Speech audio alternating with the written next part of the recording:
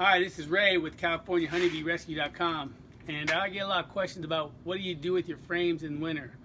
Well, what I do is I like to freeze mine frames first. So I have this stand-up freezer here and I stack my frame frames in there and I keep them in there for like a couple of days.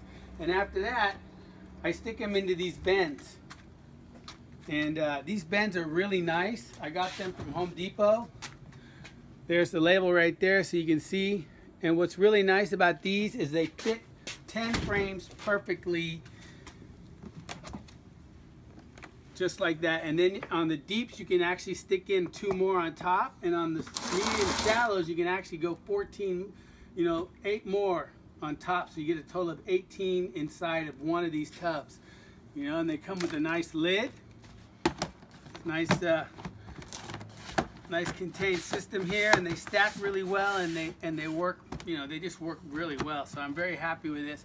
And the freezing kills all the larvae as far as your beetles and your wax moth and you know the eggs and all that.